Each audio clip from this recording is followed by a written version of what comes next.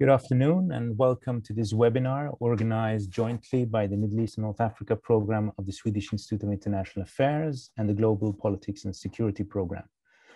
My name is Rouzbeh Parsi. I head the MENA program and in the control room behind the scene, as it were, is Sophie Berlund and colleagues from the GPS program. This is the second installment of a series about the role of religion in foreign politics and in international politics and how they interact with how religion is perceived and practiced domestically in societies. So in the previous installment, we were discussing what we mean with the secular order, which defines and underpins the whole notion of international politics in our modern day. And in this seminar, we're going to primarily look at how this is constituted in various countries. And the two countries we have chosen are India and Russia. So we will be looking at how religion plays a role in those societies and to what extent that in turn affects their foreign policy. But we will also look at how religion interacts with the whole global human rights discourse and to what extent we have universal values and people can feel that they're part of that and whether they can be codified beyond something very general like the Universal Declaration of Human Rights, for instance. Now, in order to do this, I have three very distinguished experts with me. Uh, I will start with Dr. Erin uh, Wilson, uh, who is an associate professor of politics and religion and vice dean and director of education in the Faculty of Theology and Religious Studies at University of Groningen in the Netherlands. Uh, Erin has worked a lot on the intersection of religion and secularism and specific global issues such as gender equality and human rights. She's the author of several books and articles. I'll just pinpoint two of them here, which are of particular interest. The Refugee Crisis and Religion from 2016 and After Secularism, Rethinking Religion in Global Politics. She's also the co-chair of the advisory network for Transatlantic Policy Network on Religion and Diplomacy, uh, which is one of those institutions, or rather organizations, if you will, that help try and create a better understanding of what do we conceive as religion and to what extent can that conception uh, be universal or at least be translatable. Then comes Alicja Curanović, who is associate professor at the Faculty of Political Science and International Studies at the University of Warsaw. She holds a PhD in political science, which is specifically on the religious factor in the foreign policy of the Russian Federation, and so Russian foreign policy and religious factors in international relations are part of her focus. Her latest monograph is The Sense of Mission in Russian Foreign Policy, Destined for Greatness, exclamation mark. And I think we will need to get back to that exclamation mark at some point in the conversation. Last but not least is Henrik Chetan Aspengren, a colleague of mine here at the Swedish Institute of International Affairs. He's acting head of the Asia program and coordinator of the South Asia Initiative. Um, he holds a PhD from SOAS and is author of several books, journal articles, especially on politics in South Asia and India. And I'm very happy to have the three of you here with us. This conversation is stream live, uh, live streamed on Facebook as well as our website, and it will be also recorded for those who cannot attend. Those who are attending now can ask questions. You can ask them in the chat of this Zoom conversation, but you can also do it via Facebook. We will try and bring those questions into the conversation as we go along. So um, let us kind of do a bit of a recap from the previous seminar, at least in terms of the, the theoretical underpinnings of the conversation, but do that by asking you, Erin, to help us understand a bit how we can conceptualize what is religion in relation to politics, or rather the secular. Uh, I know there is one particular term that you and others have used, which is the ontological injustice of the secular order um, and secularism. So why don't we start there? How is it that, in a sense, we assume the secular to be not only normal as in most frequent, but also perhaps normatively the only way of conceptualizing private, public, politics uh, versus what is not politics, please. Thanks, Rouzbeh, and thank you for the invitation to be here today. Um, it's a little bit daunting to um, be talking with you and with the other colleagues who are here today. So um, yeah, it's a great honour.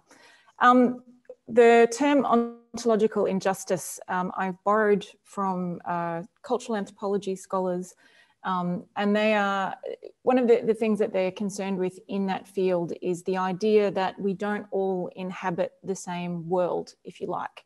So the way that we perceive the world from within a secular order is very different from the way someone who lives outside of a secular order might perceive it. And this secular order, I think um, in the previous webinar, um, Professor Hurd gave a very, very clear kind of overview of how this secular order developed historically.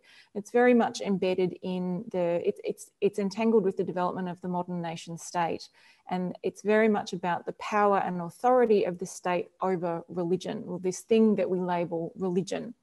And so it, what ontological injustice is concerned with is this idea the, the, kind of central assumption of a secular order that there is something that we can clearly identify and label as religion, and that is distinct from other things like economics, education, politics. And so then this is this is a relatively new kind of development in the, the historical order, if you like. Um, and it's and then what how do we define and identify what that thing that we call religion is there's a certain set of assumptions behind that term tied with this historical development which is very specific to um, I think I, some people might say the Euro-American experience, but I think we could even say the European experience because the, the modern state emerged in the European context and was then exported via uh, colonialism. Um, and so this idea, the assumptions about religion that sit behind this are very particular to the European experience, I think. And that, that experience kind of the, attributes uh, religion as being a source of violence, um, it's a source of division and a source of disagreement amongst people. And so um, there and there are other assumptions that kind of emerge more recently about the possibilities for religion being used for, for peace and for reconciliation. Um, but I think in, in both of these kind of, in, in either construction, whichever way you look at it, there's still this idea that we've got this clearly identifiable thing that is religion. And then the question becomes, well, how do we define that? And that is where we come unstuck because everyone has different ideas, especially at the grassroots level. Everyone has different ideas about what religion is, whose, whose beliefs and practices are classified as religion or are not, and where we draw that line and make that decision. And that's where I think we end up coming, uh, getting into trouble, particularly when it comes to the human, human rights issues and human rights abuses. Very good, thank you. I mean, that really gives us uh, several doors that we need to go through in order to, to get anywhere when it comes to understanding this phenomenon. Um, so in a sense, it's about a very particular historical experience in Europe, where at some point religion was defined as a volatile variable that kind of could undo society and therefore had to be um, compartmentalized, as it were, from what was emerging as the public, the public yes. sphere.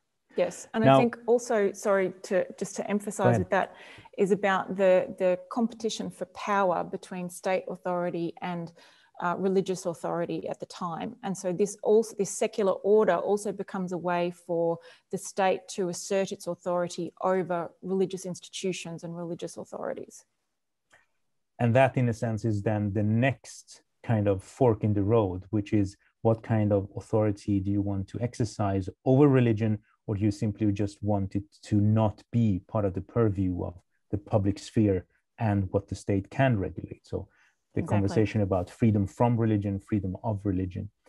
Now, as you mentioned yourself, this partly assumes a kind of a hierarchical, structurally organized church-like, uh, not, you know, it's not a coincidental, a church-like uh, way of, of constituting religion as a practice. Henrik, let me bring you in here in the conversation because obviously when we're talking about India, where, or basically we could talk about a lot of places outside of Europe, the idea of religion in a kind of a singular sense with a very clear hi hierarchy that is institutionalized in a very clear way is not necessarily the historical experience. Thank you. Thank you, Rouzbeh. And thank you so much, Erin, as well, for that uh, great uh, introduction to this uh, conversation. Um, no, you're absolutely right. Uh, in, a, in a country like India, um, that kind of homogeneous experience of religion has never been there. It's a pluralistic society with, um, with several religions coexisting. Um, so that, that kind of sharp division between uh, uh, if we if you say the state or the political organization and and religion could could not really be um, uh, implemented. So what I think think we have seen in India, uh, and this goes back to to before independence and even you know during the sort of independence movement and onwards through decolonization and today is rather a competition between two types types of nationalism um, uh, and where you have um, um, sort of secular nationalism that uh, that uh, doesn't really build on a separation between, uh, if you call it a religion or church or or state, but is more of a sort of non-differentiating secularism where where several um, religions coexist and you have a principal distance to these religions and you have a religious nationalism um, and that kind of competition between the, those two nationalisms uh, has been uh, in the Indian experience uh, uh since, since uh, the early um, 20th century or late 19th, 19th, uh, century, I should say, and where you have seen the pendulum swing towards religious nationalism as it is today, pronouncing one re religion or one community ahead of others that's very interesting because it also points, as you said yourself, to the fact that perhaps the kind of collective conscience, or if you will, the mainstream history writing, has tended to uh, obfuscate or Photoshop out a bit this other uh, strand of how a national uh, collective consciousness has been built. And India is just one example. We could look at Algeria, we could look at other cases where the kind of the religious strand has been left out and then when it returns, people tend to interpret this as a resurgence of religion, which then, of course, assumes that it wasn't there all along. Um, but it would seem to me that in the Indian case as well, uh, that was not the case. It was there all along. It just was not at the pinnacles of power or, or ne even necessarily organized as a political entity as much as a kind of a grassroots organization, for instance. Would that be a fair description? Yeah, I, I, think it is. Um, I mean, there's also a sense that the sort of secular idioms that were brought in during independence, uh, that those idioms were, were also some sort of elite idioms and very West-oriented idioms. So that the, the, the, some branches of the Indian independence movement picked up idioms and ideas that came from the West and tried to implement them, uh, and secularism being one of those, into the Indian uh, context and Indian experience. So what you have then is, is, is also a sense that religion has been pushed aside, but not only by sort of foreign elements, but also by uh, domestic elites. And so you get this idea that bringing, not really bringing religion back in, but but but uh, giving religion a voice is also such, is a kind of anti-establishment uh, uh, uh movement. Uh, that that might be true or not true, but this is a sort of sense and how, how and also something that is, has been conveyed quite quite often in this discussion. Well, I think that's definitely something we will need to pick up again later on, because that, of course, turn, uh, points towards populism and why religious nationalism has the potency that it does have, because it also has this kind of anti-establishment, at least before itself reaches power. Uh, then we'll see how it manages to kind of maintain that, that narrative, even though it actually controls a state. Um, but now let's turn to our other uh, case study, as it were. Alicja, um, Russia has some similarities with the, the Indian case uh, to some degree, you could say, but also very specific uh, experiences. Russia is a country where the Orthodox Church, like in many countries in Europe and elsewhere, uh, the, the kingship was based on this kind of uh, God-given uh, uh, assurance of, of, the legitimacy of power, king by the grace of God, as the phrase goes. And then you had the Soviet Union, uh, which by definition was anything but religious, at least in the way it perceived itself and the way it tried to remodel Russia as a country and Russian society. And then we are now back into Russia, uh, a country where the Orthodox Church again is back on track, as it were, and has a very good relationship, it would seem, with the state and, and is not, in that sense, separate from it necessarily. But could you give us a bit more flesh on these bones that I just outlined here? Sure. Thank you so much. I'm also really happy to be a part of this debate. And uh, following on what my colleague has just said, I would say that, well, Russia, I mean, even if you see some similarities to India, is definitely a part of European historical experience, right? So religion perceived as an organized institution which is cooperating or com competing for the authority and power with the ruler, right? So this is absolutely a shared experience until 1721, when it becomes subdued finally we could say, by the ruler, by the Emperor Peter the Great, and then becomes a part of an imperial project. Here could be maybe a link and similarity to how religion was used, how it played in imperial project in India. And so becoming a church of an empire with all what comes with it. So being an instrument of uh, subduing other non-Orthodox ethnicities, assimilating new territories, representing the central authority in the peripheries and so on. So being the pri privileged uh, institution, it suddenly in the Soviet Union uh, became a persecuted minority. So quite a jump in the status. And things were changing, in fact, only in the 80s with Gorbachev. But thinking about what you just said, uh, Rouzbeh, so uh, did religion really disappear in Soviet Union? I mean, uh, going back to this question, or it was somewhere in the margin? Well, if we just take the social polls, which were conducted somewhere in the 1989, and of course, if we can rely on polls uh, conducted in the Soviet Union, I, I think they are kind of a good point of orientation. In Soviet Russia, 16% of people said they were Orthodox, 75% people said they were non-believers. And if you take the numbers today, so the question what happened, right? You have exactly a reverse picture. So something around, depending on the polls, but definitely about 60%, 65, 67 of people declare themselves today Orthodox. Uh, non-believers, it's 26%, right?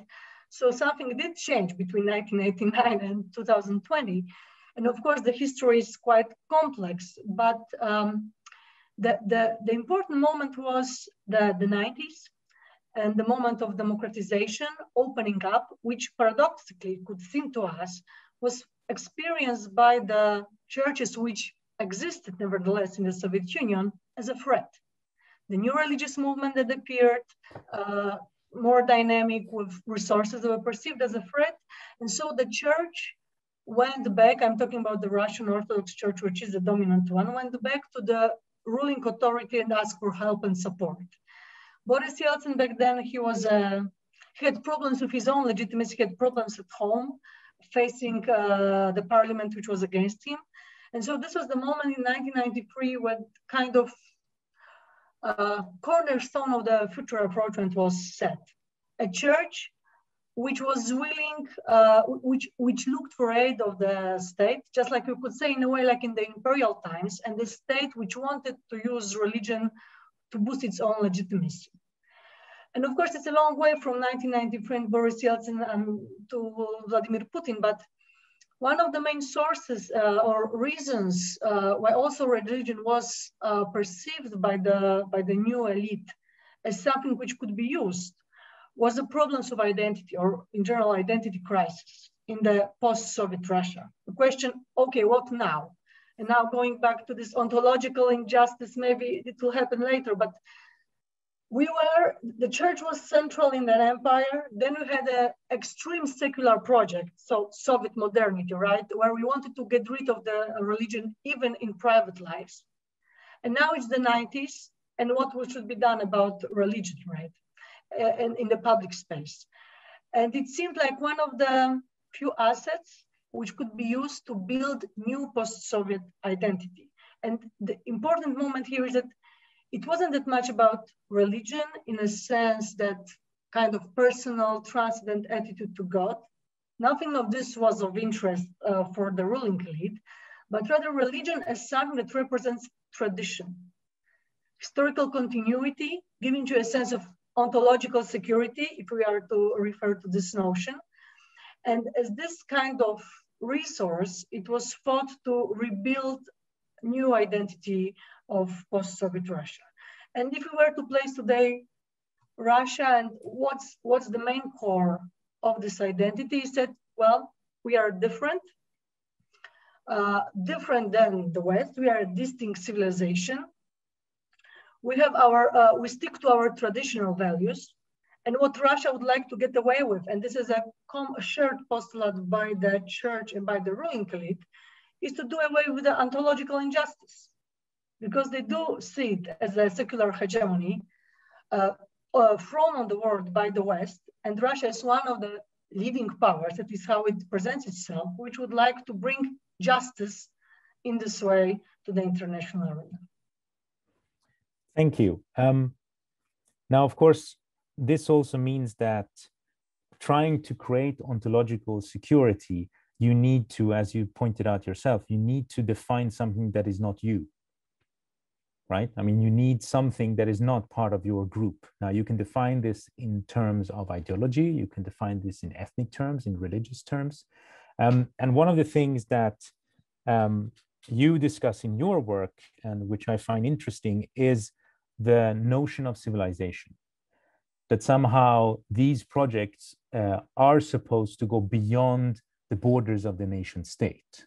And so the concept of civilization as something that is beyond the borders of the actual state uh, helps to still claim uh, both moral, um, traditional, religious, and cultural authority and authenticity uh, that kind of uh, supersedes the secular order through which the borders are actually set. And I find this interesting, not just in the Russian case, uh, but perhaps particularly in the Russian case, because you have so many Russian minorities in the countries that used to belong to the empire or the Soviet Union. Uh, in other cases, like in, in, the Indian case, we can talk about diasporas, uh, but they're not part of an imperial legacy uh, in the way they are in, in the Russian case. Would you like to say something about that, Alicja, on, on that aspect? Sure, sure. Thank you for this. Um, with civilization, uh, uh, the notion of civilization, how it's used uh, in contemporary Russian politics, it's of course, again, a complex phenomenon, right?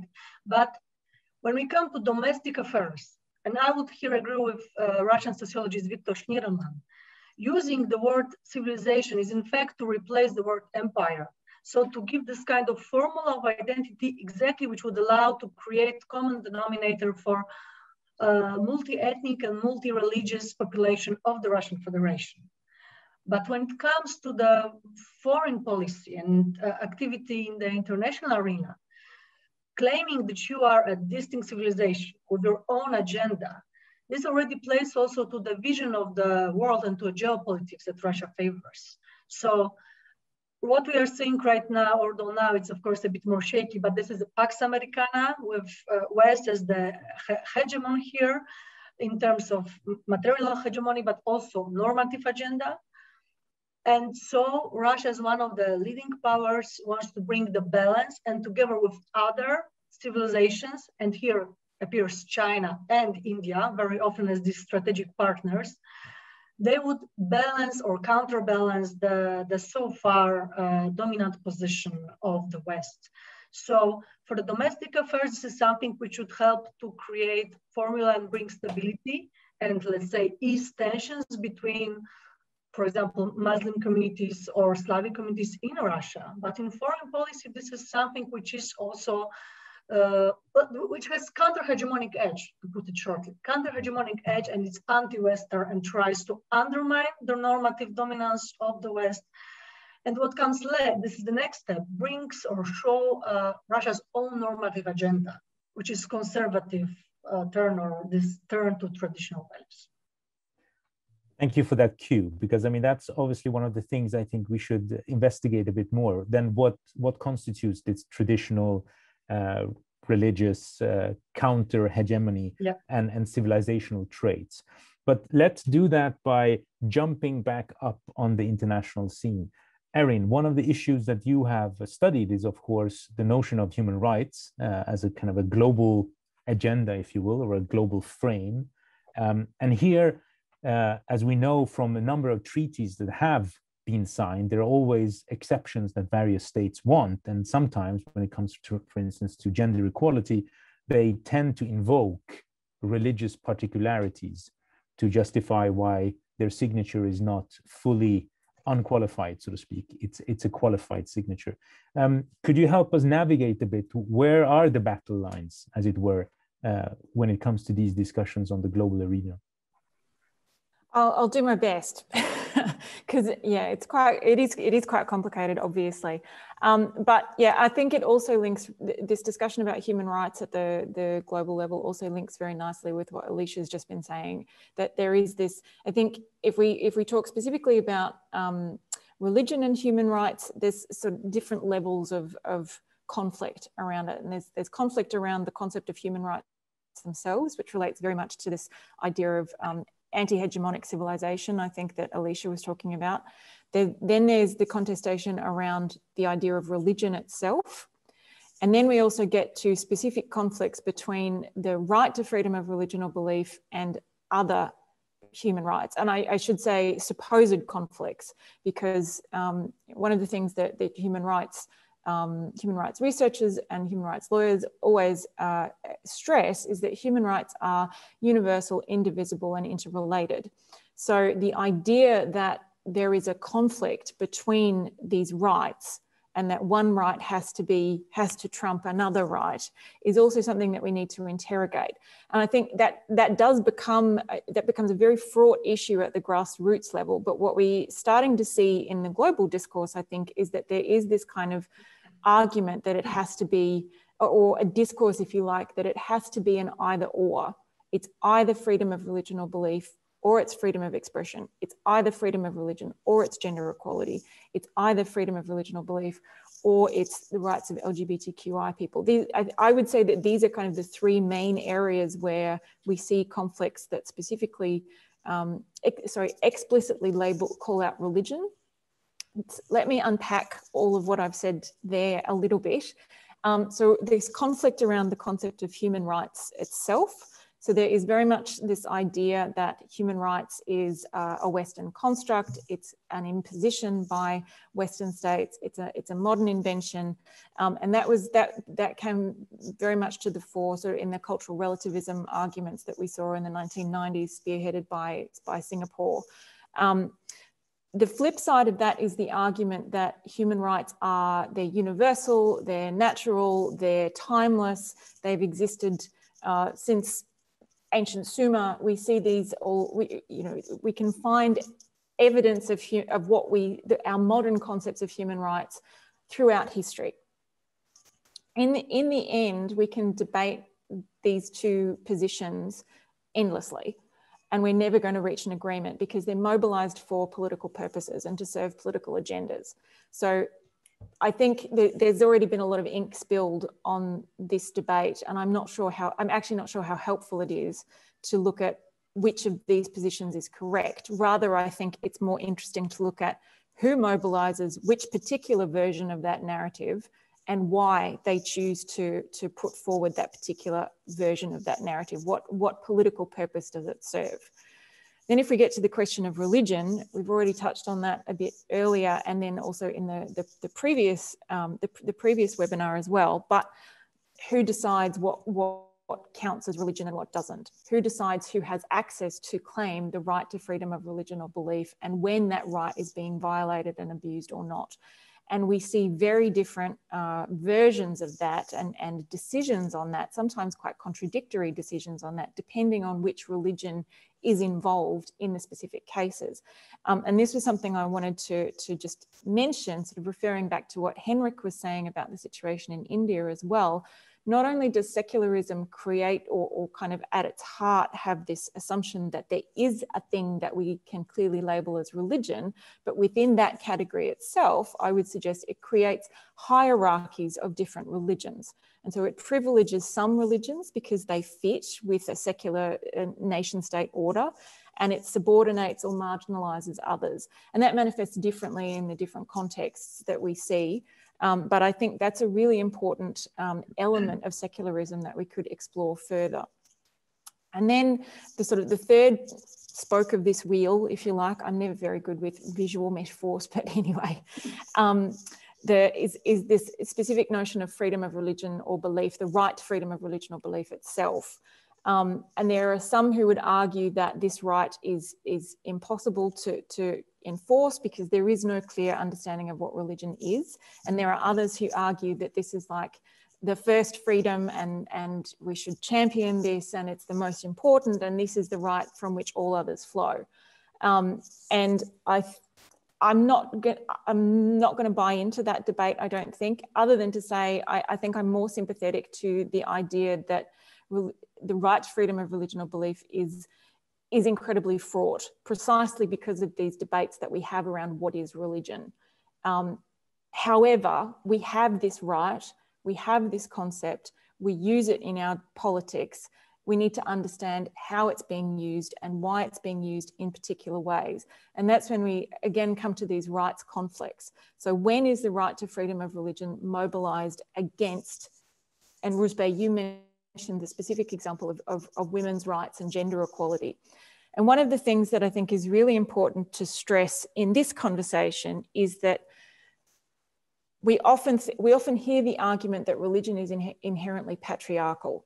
And so, and then we ignore the fact that there are also abuses of women's rights and gender equality within secular, within secular institutions, corporations what I want to suggest we need to disentangle, at least on this particular debate, is, is, is the notion of patriarchy. So religion and secularism can both be agents of other power structures. So whether that's whether that's patriarchy in this case, or whether that is sovereignty, or whether that is another power structure or, or power framework, we have to we have to get away from this simplistic narrative that religion is patriarchal because it's if we look at on the grassroots, again, there's a lot of different actors who are involved in this, and often there are religious actors who are champions of women's rights, who are champions of LGBTQI rights. There's a lot of them that aren't as well. There's a lot of them that, that are quite anti women's equality and the equality of LGBTQI. But to simply say religion is patriarchal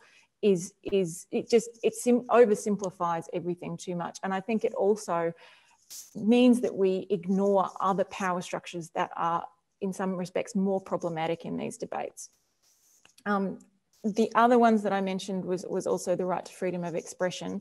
Um, and I think that that is also like, I think all these conflicts between rights that we hear about, and I want to put supposed conflicts between rights, um, all of these are a function of, of power struggles between different groups within society, those who have the position of power wanting to try and exclude or marginalize or keep down those who don't, and those who are fighting for a greater voice and to have their, their rights acknowledged and their space in society um, given to them.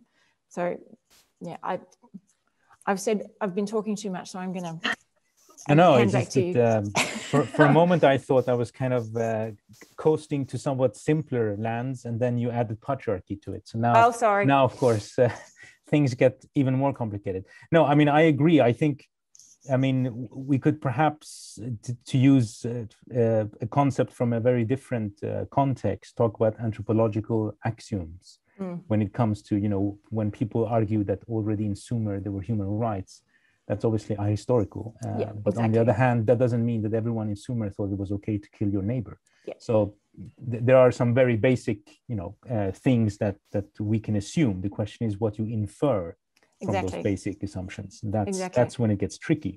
And that's one of the other things um, that, that we've tried to do in in some of our research around this idea of ontological injustice as well is to say okay we have this set of, of universal values there in the universal declaration of human rights there is contestation about whether it is universal but what we found in some of the research that we've done in India and Indonesia is that the rights, them it's, it is sometimes more about the language that is used and how that is communicated and implemented. There's a lot of support for these values at the grassroots, but the question is, it has to be done in a way that is relevant or in, engaging in this work has to be done in a, in a way that is partnering and that is um, sensitive to and, and supports and puts first the the, the, the, culture and, and, the location, the context that, it, that it's, the work is being done in, and the actors who are there who actually know the context and have familiarity with it and are doing the hard work there.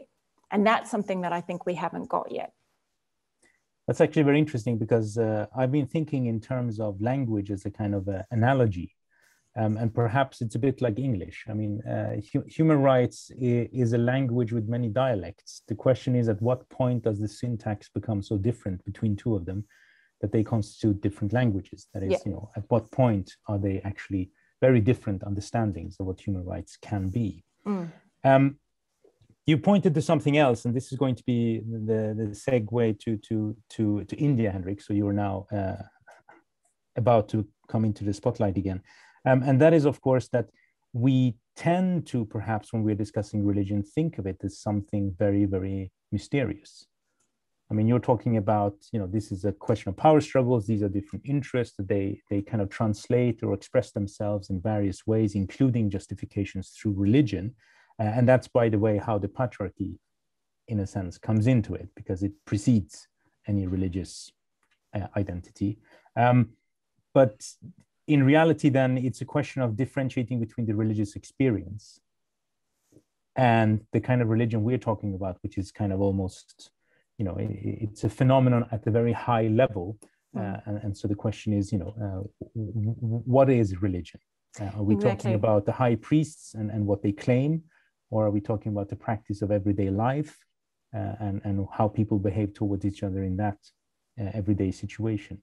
I think that's something that we as, as scholars, as researchers, as political analysts, and as commentators need to be much better at. We need to be much more precise, not just use this term religion, but be very precise about who and what are we actually talking about? Are we talking about the institutions, the grassroots actors? Are we talking about the rituals, the belief structures?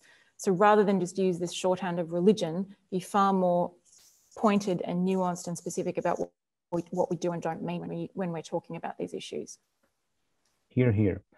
Um, Henrik, uh, this of course becomes even more um, complicated and fraught with, with potential for, for uh, fissures within society when we're talking about a country like India, which has, as you mentioned yourself, this this huge uh, variation uh, and also this history which is used and abused uh, depending on how people want to portray their own group vis-a-vis another group. But what is also interesting is that in the indian case like in most of these other cases it's a question of values. And one of the values that often is brought up as being particularly indian or if you will particularly hindu is tolerance uh, and what I found interesting when I look, for instance, at the BJP and its history is how tolerance, and we see this in, in, in Europe as well, but often perhaps in more secular ways rather than justified in religious terms, is how tolerance actually becomes quite intolerant because tolerance is how you define your group, while the other group is not tolerant, and therefore they should not uh, have the same rights or they need to be put under particular enclosures, as it were, uh, legally, because they are not tolerant. But let us now try and see is there anything you want to comment on that before?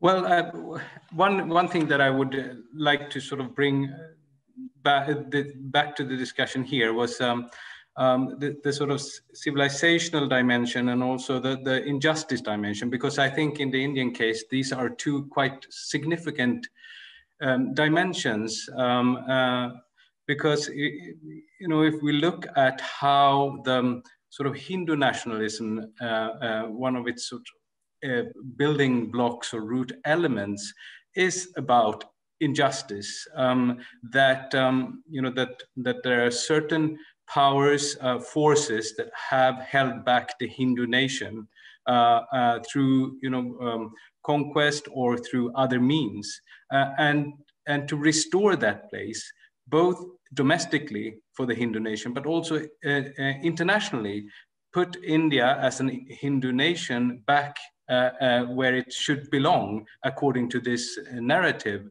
is, is, is clearly visible in, in the Hindu nationalist um, sort of narrative, both domestically and internationally. And, and I think also the sort of civilizational aspect here is, is important. I mean, for, for Hindu nationalism, India itself is a civilization, but it has expanded, you know, the, it's not really confined to the territorial borders it has today, but there has been influence, Sanskrit influence in Southeast Asia and elsewhere. Uh, I mean, parts of Afghanistan today and so forth. So that kind of idea is there as well. Uh, so that was the what I wanted to just comment on. Mm -hmm. But uh, you had a question as well. No, no, I, that's that's very good because I mean, in a sense, that uh, conforms to classical nationalism anywhere uh, the idea that you have borders and you have a defined territory, but your cultural influence and, in a sense, your uh, jurisdiction goes beyond that uh, territorial boundary. Uh, and so that, and most uh, nationalisms have to kind of come to grips with how far they are willing to go with those claims, because of course that can initiate or trigger conflicts with other countries because they tend to think of their borders as the very beginning and end of a jurisdiction. Um, and that, of course, brings us to the Indian equivalent, if you will, of the discussion we had with Alicja regarding the, the Orthodox Church and its ability to move beyond the Russian borders. But in the Indian case, it's a question of diasporas rather than a kind of a commonwealth uh, idea that we see in the Russian case. And how does that then play into Indian foreign policy? Is that something you could tell us a bit more about?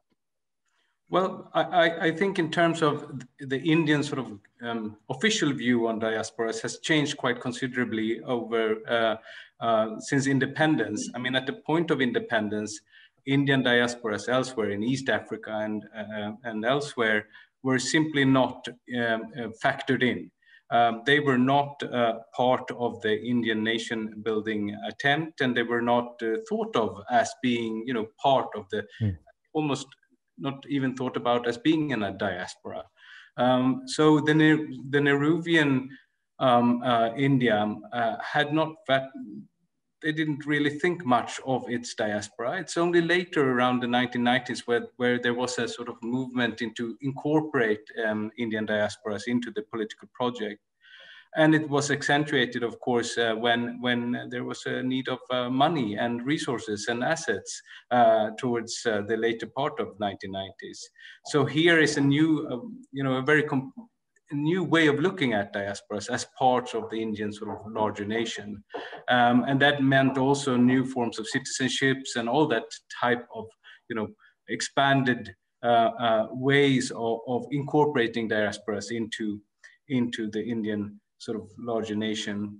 But, but it's not, um, um, I, I also want to just comment on your question about tolerance or toleration, because there is a sharp line here in, in Hindu nationalist thinking, and that goes, you know, uh, minorities or minority groups that are thought of as part of the sort of Indic civilization. I talk about Sikhs, I talk about Jains, Buddhists. They are clearly within that family. But when it comes to some external religions that are, you know, conceived, perceived as external, um, Islam or Christianity, they are not perceived to be part of that Indic family. So here is also a sort of division. It's not like it's only one religion and everyone, you know, belonging to other religions are excluded. It's it's more of an idea of a civilization where there are several religions that um, are included and some that are not. Um, so um, tolerance to a certain extent, I would say. Hmm. But so let's now uh, take this kind of domestic makeup that we've been discussing in several of these countries and how and in so far do you perceive that having an effect uh, on the foreign policy of these countries. Henrik, if we'll start with you, would you, I mean, let me start with a very simplistic question. Has the fact that the BJP now has been in power for quite some time, uh, uh, has that affected or changed Indian policy in a, in a way that can be traced, at least not as the single cause, but at least partly caused by their different view uh, on, on India and what is Indian identity and, and the, the centrality of, of, of Hinduism, if you will? Well, I think in practice, uh, the BJP's foreign policy is very much a continuation of previous Congress government's foreign policy. But in terms of branding, I think there is a difference. Mm. In terms of how you label, um, you know, diplomatic initiatives, um, how you, um, uh, you know, the wording that you use, uh, the imagery that you create around diplomatic initiatives, I think that has changed. I think also um, but I also think that the idea of injustice is also there. Um, you know, one one part of this sort of ground uh, the root uh, ideas or, or, or very sort of uh, important ideas of Hindu nationalism, as I mentioned, is that the Hindu nation was somewhat uh, held back uh, because of external forces, um, and that it needs to restore its position and the same kind of language and the same kind of narratives you also find uh, for the nation state of India now. That you know it's time for India to restore its its uh, right place in, in, in the uh, in the world, uh, and which it feels sort of entitled to to have. Um, so the nationalism is also sort of translated into exceptionalism in the foreign policy sphere. Um, but I think in terms of real uh, uh, policies, I think it's a lot about uh, continuation. But in terms of labeling, I think it's about um, um, uh, we have seen some new um, sort of uh, BJP takes on how how to label your foreign policy. Thank you. Uh, Alicja, I'm going to ask more or less the same question to you, but I also have a question from the Q&A, and, and please uh, feel free to ask more questions uh, to our panelists. But um, how can we can we see something of that sort uh, in uh, Russian foreign policy? Uh, if nothing else, if, if not necessarily explicitly religious, then civilizational at least. And how would the Russian church play a role in the next elections to the Duma? The question. Well, um, great, great set of questions. Uh, but I would start with, since you asked about how the domestic plays in foreign policy, I would start with uh, describing you the essence of a partnership between the Kremlin and the Russian Orthodox Church because very often there is this kind of misperception about it as the church which is being used by Vladimir Putin or opposite. So it's the patriarch who is smart enough or cunning enough to use Vladimir Putin. In fact, it's much more complicated because this is a partnership where, of course, the Kremlin has the upper hand, as the state usually does in relation to religious institutions, because it is the state which sets the stage, sets the law, and so on and so forth, so the rules of the game. But what makes their cooperation well i don't know if harmonious okay let's say the word harmonious is the fact that they really share a lot of views about the world and how it should be and what's the role of russia in it so this kind of shared worldview uh, of the ruling elite and the church is what facilitates so at home what facilitates their cooperation in international arena so what they agree on is the fact that russia should keep its sphere of own influence in post-Soviet area. And this is a view of the church, which has there its canonical territory, but also, of course, Russia and the concept of Mirabrut. So all former Soviet states, with the exception of Baltic states, is where Russia should be the dominant player and keep other players out, right? Also the fact that the West is the hegemon and it uh, and it throws upon Russia and other uh, countries its own order and norms. This is something what the church and the state don't agree, and that something should be done about it. So again, bringing this kind of alliance of civilizations to counterbalance the West. Um, the concept of Russia as a distinct civilization. And this is very something which very much feds on Orthodox identity. Orthodox Christian Orthodox that we are different than the West, which Protestant and Catholicism, we have something on our own. And also then later the conservative turn. So they see certain things in a similar way. Why is it so? A very short answer would be it has something to do with the imperial habitus of Russian Empire, but also the Soviet Union, which had the structure of an empire. And it allows them to cooperate in foreign policy in different ways. So we have cases where the church uh, was able to convince the government to play a bigger part in something, and this would be the case of uh, bringing to Russia's foreign policy agenda uh, the slogan of protecting Christians in the world, protecting persecuted Christians also in Western Europe, where they are being persecuted. And Sergei Lavrov, you know, the former member of a Communist party who's really concerned about the fate of Christians in the EU, right? This is really something um, telling, I would say. Uh, so this is something what church brought to the to the government agenda. But we have also another case where the Kremlin used notions uh, brought and promoted by the church, like Ruski Mir, when it comes later to Ukraine and annexation of Crimea, right? Uh, or something where they act in hand in hand, like Arctic region, where of course the Kremlin emphasizes this is a strategic sphere. We are active, we are bringing new or rebuilding military bases. And then the church comes, patriarch who comes to the Arctic regions, bring opens new churches, new chapels, and says, yes, this is the strategic place we are here, and we have to make sure that the local indigenous people, Nenets, they will stay Orthodox, because otherwise they can be hitchhiked by foreign Protestants, and behind whom there's, of course, American government. So this scope, this something which is based and rooted in maybe imperial past, but works at home, also has consequences pretty visible in foreign policy of Russia. And the last point here, this is possible also because the Russian Orthodox Church is a transnational actor. And this is not an obvious thing, or rather it's a rare case for religious organizations. So this is a, a religious organization which, is, which has a structure which goes beyond the borders of the Russian Federation. It covers all post-Soviet territory with the exception of Armenia and Georgia, plus China and Japan. It has its own infrastructure. It has its own diplomatic contacts. It has experience also. So this kind of agent with this kind of capacity is a good partner for the government to have some kind of joint uh, project or agenda when it comes to foreign policy. That's interesting because I mean, in a sense, no matter how much we talk about the secular order, uh, whatever that could have been or is, there is a huge continuity in the notion of the territory of the church mm-hmm. and the mm-hmm. territory of the state, uh, and trying to avoid letting anyone else uh, uh, do some proselytizing, for instance, among a population of a given territory in order to, to maintain cohesion.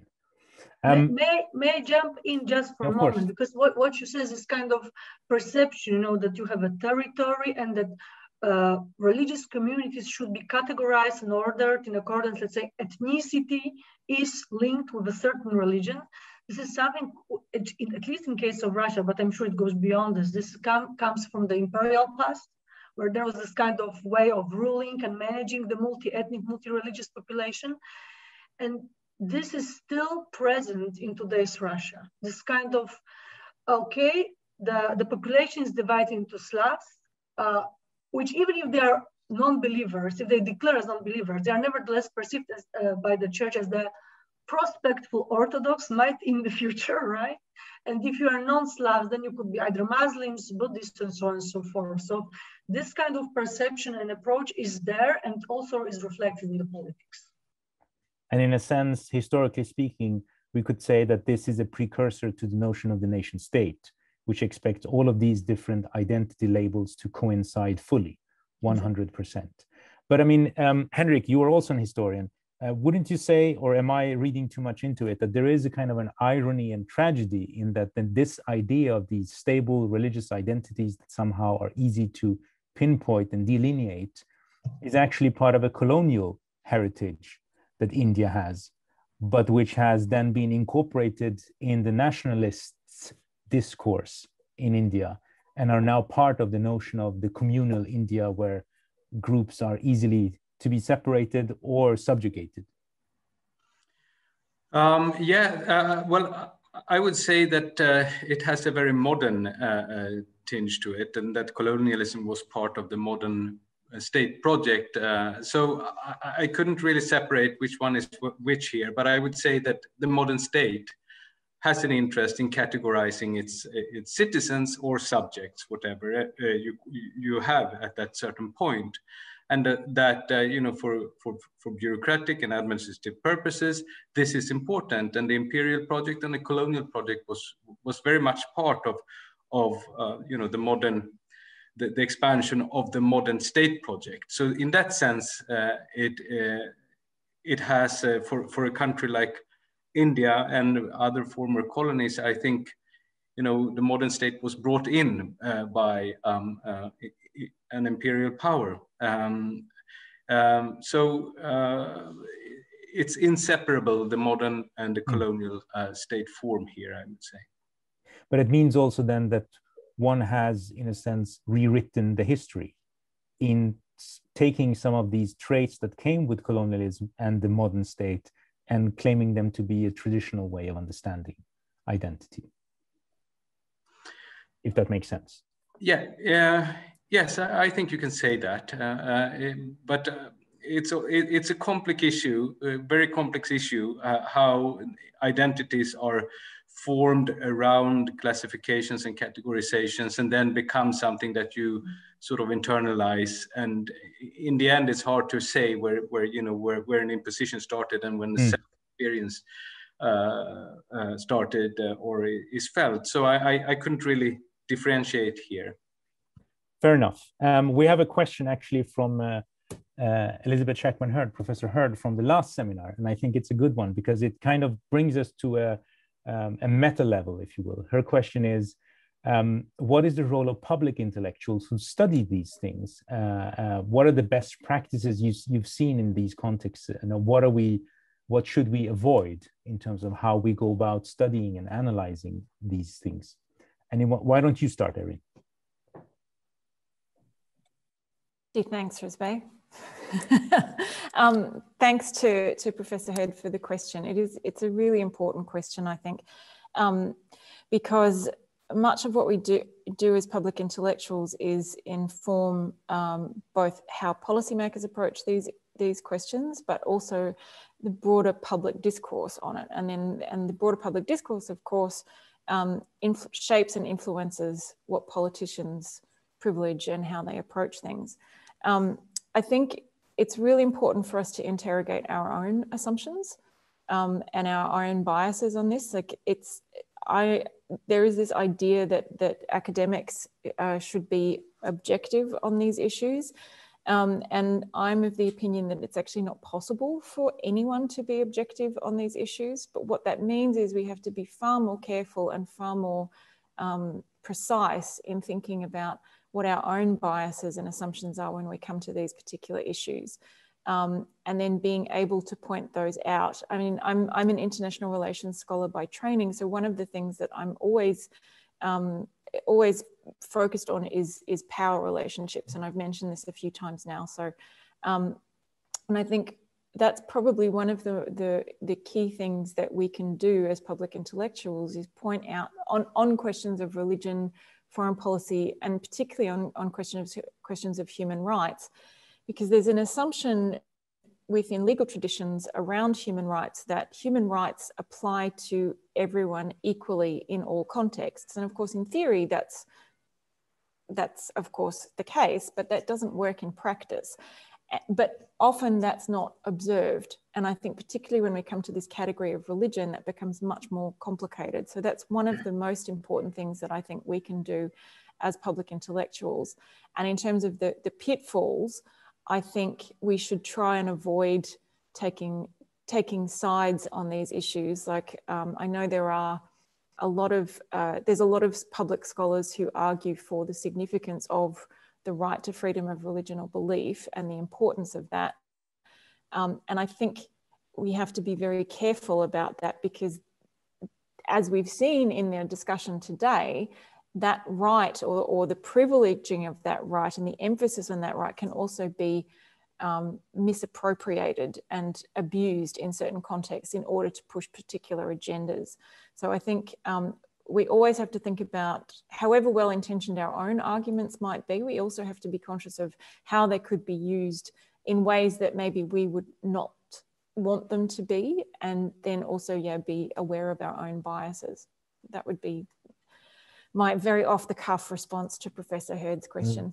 It's a very coherent one. Uh, Alicja, anything you want to add to this? I definitely agree with Erin. I would just add the, the usual things which you can add here. I mean, always try to contextualize as much as you can and remember and remember to be self-reflective. I mean, what you bring to your research with your habitus or however we call it, right? I mean, I, I know exactly the case. I'm Polish scholar, and usually when I say I'm Polish scholar who deals with Russia, this usually is, are you Orthodox? And if not, then what does it mean, right? So what angle do you So context and uh, yeah, be always reflective about what, what you're doing and how. Thank you. Henrik. Well, I, I, uh, I agree what has been said already. Um, I mean, I think it's very important to work with the thick descriptions, thick contextualizations. Um, um, and when it comes to academia, then that translates into working um, outside your own uh, discipline uh, with colleagues working in other disciplines. So cross-disciplinary, I think is important here. Um, I mean, if you're an IR scholar uh, in the in, in, by training like Erin, for example, um, anthropology becomes very important to get that sort of uh, story from, from, from elsewhere. Um, and, and so forth. Uh, also for us, uh, Rouzbeh as historians, it's important to, to work uh, with people from uh, um, uh, political science or anthropology again, or whatever it might be, that helps us to think outside the boxes that we're trained to, to think in. Uh, so that I think becomes very important when we dis discuss these things and always to keep in mind that you know it you know things that can be empowering for others can can can be the opposite for for other people as well. That's very true. Um, good. I mean obviously that in a sense also points to the fact that whatever we do whatever we study no matter how we study it we also study it within a political context. We are not outside of what we study in that sense. Uh, and of course, the, the trick then becomes how to balance that, uh, but also be humble in that we cannot control the narrative ourselves either. So it's we we cannot guarantee that whatever we say or whatever we find will only be used in a way that that more or less uh, approximates what we intended. Uh, and that becomes even more difficult in this day, where an age when we have social media, where things uh, can easily be twisted out of context. But uh, we have a, some other questions as well, uh, trying to, to get to them. Um, there are two in particular I would like to, to uh, get your feedback on. One, of course, is class. Now, the, the question being asked here is specific for India, but I think we can apply it to anywhere. We can also apply it to the global discussion of human rights, for instance, and the fact that people tend to think of human rights as civil and political rights rather than economic and social rights, even though all of them at least according to the treaties and, and, and the basic idea, uh, are integral. But let's start with India then. To what extent um, can we uh, discern a class aspect to how religion is used, or is there a relationship between them in Indian politics? Well, uh, yes, and no. Uh, I mean, uh, the, the segmentation, the social segmentation that has been mostly pronounced, I would say, is of course, in, in, in the Indian cases, the, the is caste.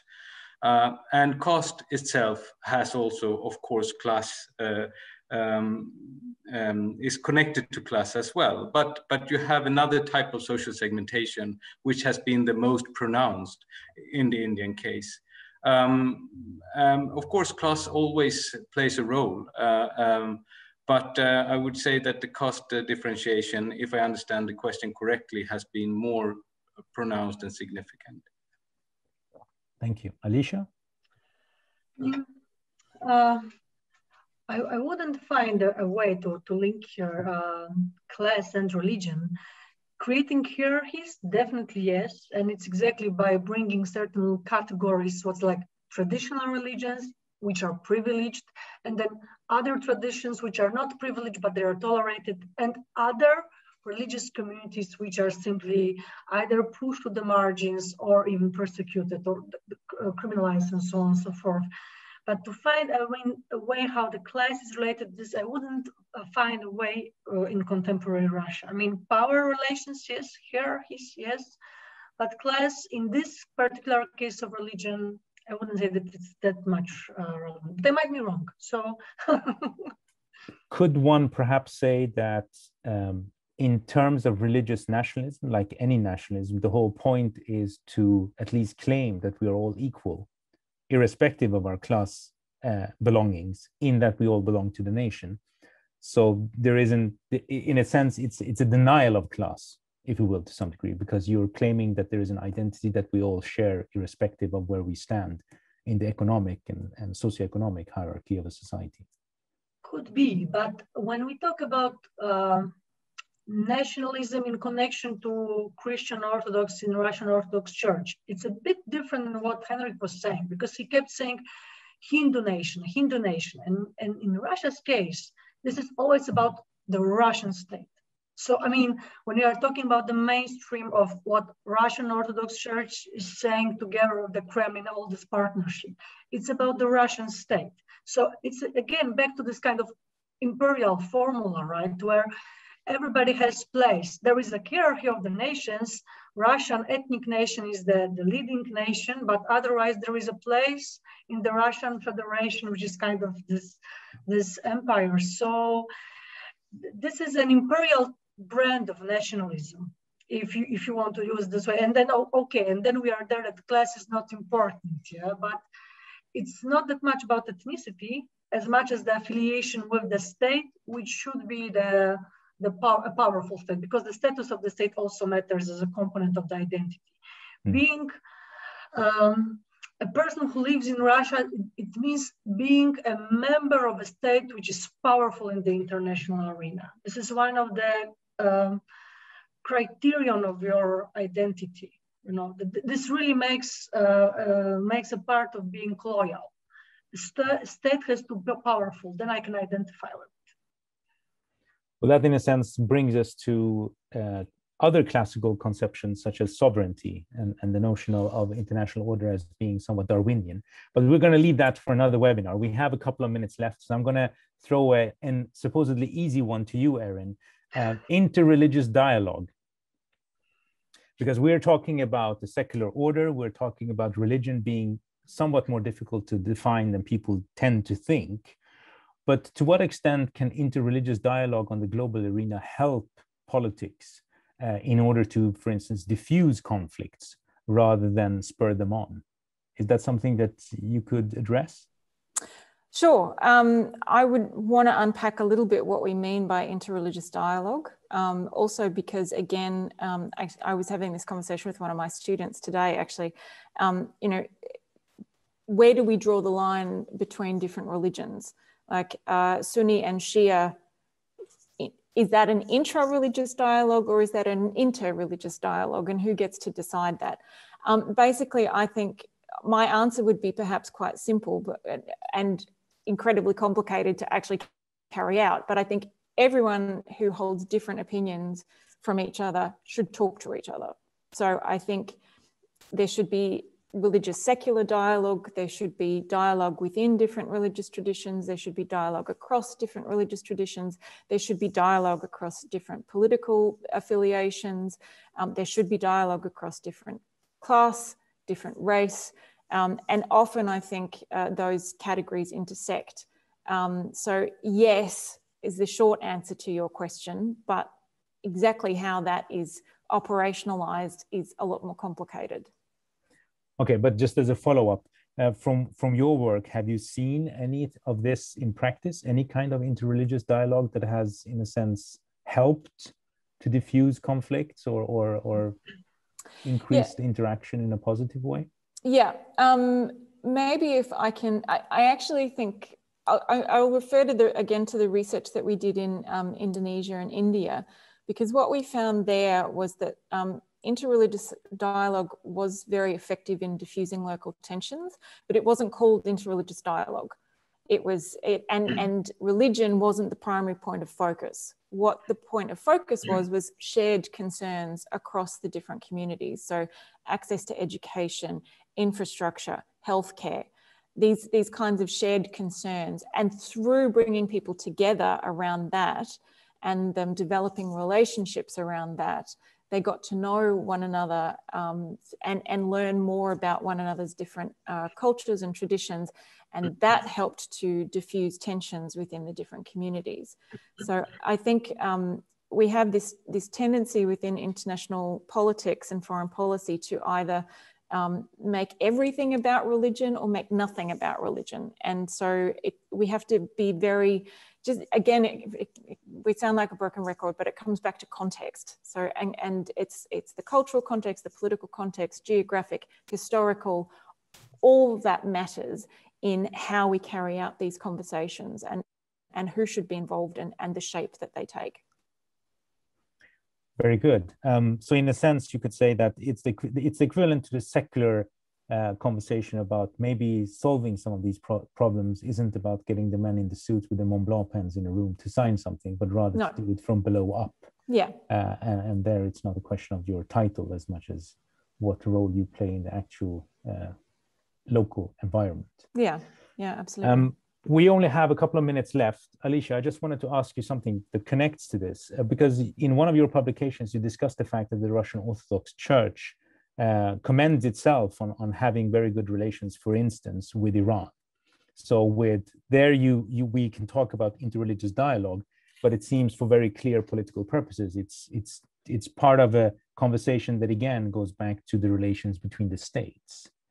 Is that something you could explore yeah, a bit for us? Sure. I was just listening to Erin. I thought the Russian case is exactly opposite. You know, I mean, the notion of interfaith dialogue. This is a part of a political agenda clearly defined by the religious institution, which is Russian Orthodox Church, and also the official institutions of Muslim communities, so-called spiritual boards or muftiats. They are the ones, you could say, entitled to be engaged in it, right? And then that's okay. Then this is in accordance with, let's say, a certain state policy. And only these particular religious organizations can do it. So this is always thought of something on the top level, not grassroots level. This is an initiative which can come only from the top and then it's legal and then it's not threatening to destabilize the multi-ethnic and multinational state. And this is something welcomed by the state at home in the Russian Federation, but also again, something which is pursued in foreign policy as kind of element perhaps of Russian soft power. Since Russia is a country which likes to think about itself, that it knows how to harmonize relations between di different religious groups within right Russian Federation, Muslims, Christians, Buddhists, and so on. So there is this official claim we have the know-how, civilizational know-how, how to bring it, and we can share the knowledge with other parts of the world. And also links to Huntington's thesis, right, about the clash of civilization, which is immensely popular in Russia after 90s and so on. This is one of the specter they use to uh, perceive the global order, uh, the logic of civilizations, and that they can crash or clash. And Russia might be the country, right, which has the know-how how to bring all those civilizations together to one table to be the middleman or, or to, to bring them to, to talk to. And the last point here, uh, because of this, the Russian Orthodox Church is especially interested and is being supported by the state in its efforts to create bodies at international organizations which would allow religious groups to be consulted on international affairs. They would like this kind of consultative bodies to be at UNESCO, at United Nations, maybe in other organizations. And the recent development is that the Russian Orthodox Church has announced that it will be a good idea to create a kind of United Nations for world religions, right? So you see a different way of thinking about religion. Exactly, that's what you would like to like us to be really careful about, right? That it's on the top, everything's categorized, institutionalized, and then the representatives of the one and only legit institutions can meet and talk, right? So well, that's definitely uh, something that we can have another seminar about. Uh, uh, mm-hmm. would be very interesting to, to figure out how that's going to work. Um, thank you very much uh, for this very enlightening conversation uh, that we've had. Uh, it's given us ideas for further conversations, like, for instance, discussing populism as part of the political um, radicalization of religion in a number of countries or ideas of identity, including in Europe uh, we'll see if we can uh, make that happen during the rest of this spring. But again, thank you very much uh, for your participation. I've learned a lot and I think our audience has as well. Thank you. Thank you, Rouzbeh. Thank, Thank you, Henrik Thank and you. Alicja. Thank, Thank you. you.